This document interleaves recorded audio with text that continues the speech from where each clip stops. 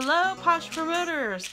This is Marie, your fearless leader, and I am going to share with you my portable party sample packets. Try to say that five times. Okay, so this is an example of a portable party themed packet. This theme is the splash into spring and summer. I created this invitation on Canva, super easy, and I already have a video on how to use Canva for that. I go ahead and print it, and I can customize it also to my post in Canva as well. Also in Canva, I created these really cute instruction cards.